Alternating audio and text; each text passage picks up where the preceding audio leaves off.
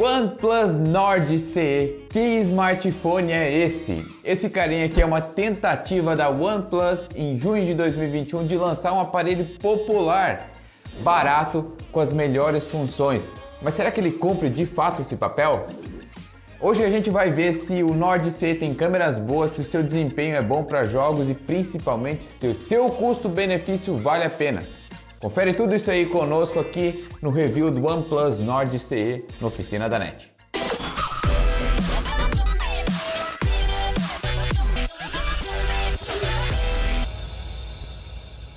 Com exceção do vidro frontal, o OnePlus Nord CE ele é totalmente feito em plástico, porém esteticamente falando isso não interessa muito porque o aparelho realmente é muito bonito. Eu vou mostrar ele aqui para você aqui, ó. Ele realmente é bonito. Olha essa cor aqui, chama muita atenção.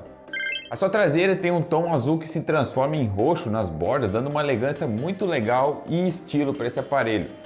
Bem legal mesmo. Em termos de especificações, o OnePlus começa com o processador Snapdragon 750. Ele tem versões de 6, 8 e até 12 GB de RAM. Aí que a gente testou tem 8 GB. E de armazenamento ele veio com opções de 128 ou 256. A gente testou com 128 GB. O OnePlus Nord CE conta com uma tela bem legal. A OnePlus geralmente coloca telas AMOLED. Essa aqui é uma fluida AMOLED de 6.43 polegadas que tem taxa de atualização de 90 Hz e ela conta com resolução Full HD. Esse smartphone tem um conjunto triplo de câmeras na traseira, sendo a principal de 64 megapixels. Conta também com uma ultra wide de 8 e uma terceira de 2 megapixels que serve como sensor de profundidade de campo, pelo menos naquelas macro ou coisa assim, né? Já a frontal do kit dele tem um sensor de 16 megapixels para selfies. E ele também possui uma bateria com os poderosos 4500 mAh que dão conta de você aí manter o dia a dia de uso. Ah, um detalhe interessante é que o carregador que vem com ele é o Warp Charge 30T, que é bem potente mesmo, um carregador de 30 watts que dá uma super carga de 60% em apenas 30 minutos na tomada. Ah, o valor desse cara, ele custa R$ 1.600 na loja oficial da AliExpress. A OnePlus nos enviou diretamente da China para a gente testar. O link está aí na descrição para você conferir tudo sobre ele também. Com relação às câmeras do OnePlus Nord CE, para ser bem objetivo, a câmera de 64 megapixels dele é muito boa mesmo. O contraste e a intensidade de cores dela não é perfeito, mas ele tem uma vantagem enorme quando se trata de ruído. Na luz do dia, pelo menos, ele apresenta um ruído mínimo em comparação com outras câmeras dos aparelhos que a gente testou por aqui também. O zoom dessa câmera principal também é fantástico, dando para tirar até aquelas fotos macro, com, por conta da resolução e da proximidade que a gente consegue ficar para fotografar. E a lente ultra-wide? Ela funciona como esperado. Por ter um sensor de 8 megapixels, acaba ficando um pouco limitado com relação à qualidade das imagens, né? mas no geral é uma câmera boa. Você só acaba perdendo alguns detalhes por, por causa do ângulo, que é mais aberto, que acontece em boa parte das câmeras com um valor semelhante. E com relação às selfies, como é que ele se comporta? Foi muito bem com relação a vários outros produtos que a gente já testou por aqui, pelo menos em dia, né? À noite, ela vai sofrer com ruídos como todos os outros telefones sofrem, mas esse aqui sofre bastante com ruído da noite.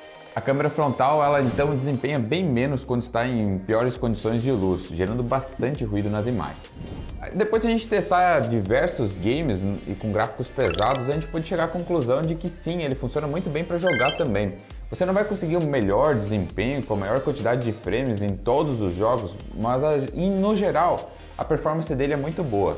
Agora, se seu negócio é navegar por redes sociais ou até mesmo utilizar aí vídeos no YouTube ou coisa assim, vai sair muito bem, porque a tela de 90 Hz dele dá uma fluidez tremenda para você ficar scrollando o feed de suas redes sociais. E por último, o telefone não esquentou tanto nos nossos testes de jogos, que é uma coisa bem legal para você ficar com a jogatina mais longa. No máximo ele chegou a 40 graus. A gente já falou da bateria dele, né? São 4.500 mAh, mas será que isso reflete também em boa autonomia? E é bem estranho, sabe por quê? Porque apesar dele ter 4.500 mAh, que a maioria está com 5.000, ele não performa pior que as outras. Estranho, né? O que a gente notou nos testes é que a bateria do Nord CE ele é muito bem otimizada, tanto para jogos quanto para aplicativos, câmeras e no uso geral. Ele demora bastante para drenar quando o aparelho está em uso e perde pouquíssima carga quando ele está em standby, aguentando facilmente dois dias de uso para usuários tradicionais. Outro ponto interessante é que o carregador que vem junto com ele é o Warp Charge de 30 watts da OnePlus. com 30 minutos de carga ele consegue dar 60% de bateria. Isso significa que você vai ter quase um dia de bateria carregando apenas 30 minutos. Quais são as alternativas do OnePlus Nord CE aqui no Brasil? A primeira delas é o Galaxy A52 5G. Suas câmeras possuem um pouco mais de resolução, sua tela é levemente maior e tem taxa de atualização de 120, diferente dos 90 do Nord. Entretanto, o preço do A52 acaba sendo bem mais salgado que da OnePlus. Outro concorrente dele é o Moto G 5G da Motorola, que apesar de ter o mesmo processador, ele não conta com a tela de 90 Hz que o OnePlus tem. Ou seja, para games e para performance, o OnePlus vai sair melhor, apesar dos dois estarem concorrendo na mesma faixa de preços. Em comparação também com o A52, aí sim o Moto G 5G vai sair melhor porque ele é um pouco mais barato. Mas entre esses dois aparelhos, o 5G e o OnePlus Nord, eu ia de OnePlus Nord. O Nord CE 5G é um smartphone sensacional para sua faixa de preço e pelo que ele se propõe a fazer. Ele já tem disponibilidade de uso em 5G, vai funcionar aqui no Brasil perfeitamente. As câmeras dele são boas, contornando aí o problema de ruído, porque a maioria das fotos que a gente produz hoje é no dia, vão sair muito bem essas fotos. E sem falar também na qualidade de gravação de vídeos, que é bem impecável, sendo superior até a alguns outros celulares mais caros que a gente já testou por aqui também. Além disso, a bateria desse aparelho que dura muito e drena bem devagar, conta com um carregador super rápido. O sistema operacional Oxygen aproveita muito bem o potencial do processador do celular e otimiza bastante os processos para não drenar bateria.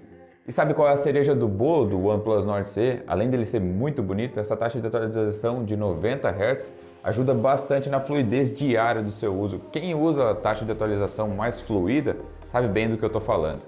Então, para resumir, o OnePlus Nord CE é um smartphone exemplo perfeito de como um celular intermediário pode ser bom sem necessariamente ser caro. A nota final que a gente dá para ele é um 9/10 de custo-benefício, que é bem vantajoso com relação à compra de outros produtos por aqui. Só que você vai precisar importar ele porque ele não é comercializado oficialmente aqui no Brasil, ou seja, também não vai ter garantia nacional. A gente já fez o teste de jogos do OnePlus Nord CE, vai aparecer aqui. E o link da descrição tem as ofertas dele para você dar uma conferida também, se quiser olhar outros preços, tá bem? Vou ficando por aqui, um grande abraço e até o próximo vídeo.